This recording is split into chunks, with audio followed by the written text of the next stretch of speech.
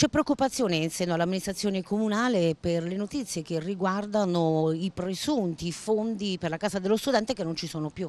Sì, si tratta di un'opera significativa, importantissima per il futuro del, della nostra città.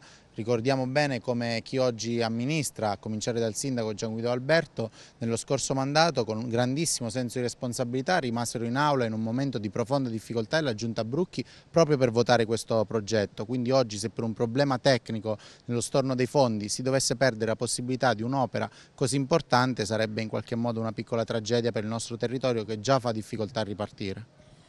Ma eh, avete insomma indagato un po' su questa questione? Ci sono o non ci sono questi fondi?